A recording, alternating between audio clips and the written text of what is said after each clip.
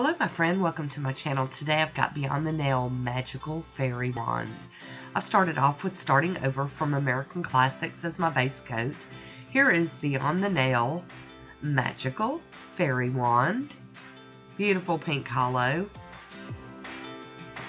So we're going to go in and start off with our first coat.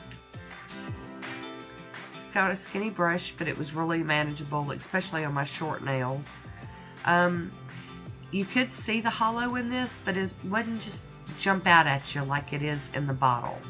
I still love it because it's pink and it was a gift from a friend, so that makes it even more special. But I love the smoothness of this. It went on so nice. Capping my free edge out of frame again. Hi Woody, how you doing? He's back again, y'all. So there we go with our first coat. Looks really good for one coat. And now we're going to go in for a second coat. It's just a beautiful smooth polish. I love it. Ugh. I was in the mood for some pink, I can tell you. Need some pink nails.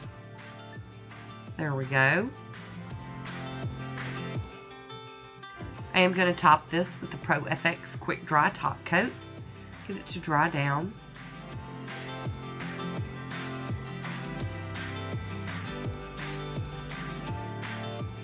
Make sure I don't have too much top coat on that brush because these little nails don't need that much. and capping that free edge off frame again.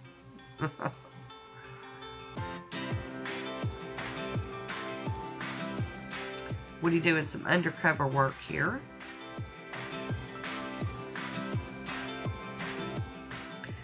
And just some regular old, you know, side work here. so there we go. Gorgeous polish. Here's a swatch photo of it all on its own. And then I'm going to use this Lina Totally Negative O2 plate and the Pure Ice Silver Mercedes. It's not a stamping polish, but I do love to use it for stamping.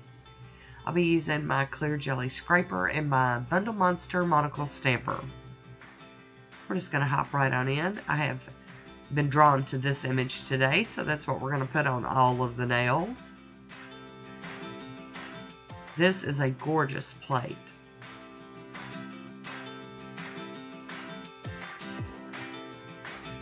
Plop that on. Shazam, look at that. Like I said, I'm going to put the same image on all of my nails. I don't really have a whole lot to talk about, but, you know.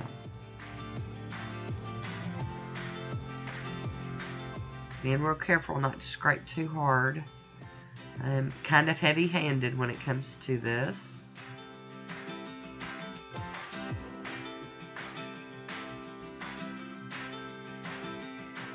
I'm loving it so far. This was one of the plates that Becky sent me. Um, I don't know which video will go up first, but I have swatched this entire plate. Um, there was requests to see it, so I have done that. I just, I never know how my videos are going to pop up. Yeah, because I try to post nail art, something else, nail art unboxing, nail arts, you know try to keep it mixed up here on my channel.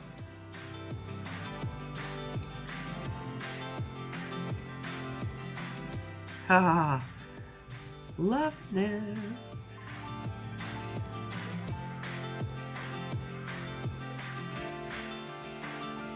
Just another good swipe. Easy does it, girl.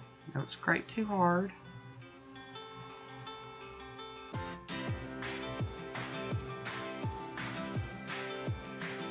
And I'm kind of moving that image around to where it's not exactly the same on every nail. Kind of drew it in a little closer for you guys to see this.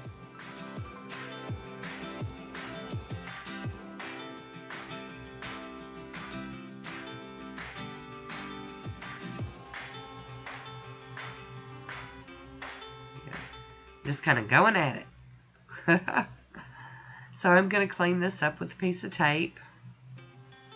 And it comes up pretty well with the tape, thankfully.